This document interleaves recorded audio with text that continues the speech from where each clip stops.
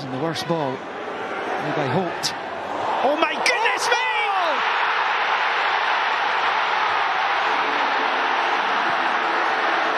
Wow! Well,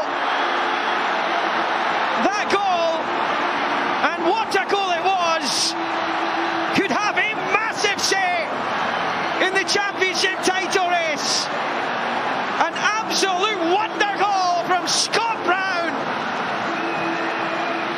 mean, that is a sight to behold.